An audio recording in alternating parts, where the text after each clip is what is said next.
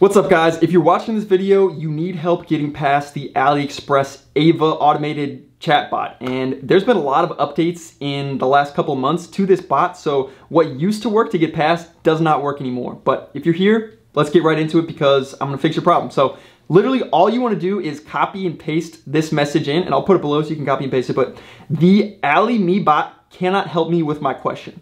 And you can see here, I copied, pasted that in with quotes and I instantly got a human to help me with my customer service questions, which is crazy because like I've spent an hour, if not more, at a time trying to get past this bot. So the fact that it's so easy is incredible and hopefully it helps you guys out. I've heard that sometimes there's different hours of the day or different days where it's harder to get normal people to help you and they try to push the bot on you more so it's harder to get past the bot. So if you're really struggling and this solution is not working for you on a given day or given hour, just give it some time. Don't get frustrated. It doesn't help anything. Uh, like I said, I've spent over an hour trying to get past the bot with no success before. So if that is the case, just wait, come back in six hours, 12 hours, 24 hours, another day, and you should be able to get past it pretty easily. I've also heard that if this doesn't work, you might be able to ask them to tell you about the platform Taobao um, and then ask them what the difference is between AliExpress and Taobao, and that can also get you another agent. I've never used that one because this one has always worked for me. Um, so yeah, hopefully this helps.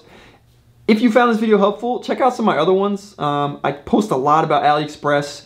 Uh, I have a lot of really, really good advice in terms of refunds and stuff like that. So definitely check it out if you're into Shopify, dropshipping, e-commerce, any of that, or investing, travel hacking, you know, etc. I talk about it all. So hopefully this video was helpful, and if it was, make sure to smash the thumbs up, subscribe, and I will see you guys in the next one. Until then, let's grow better together. Preguntar, bebé, dime por qué te mientes. No puedes esconder todo lo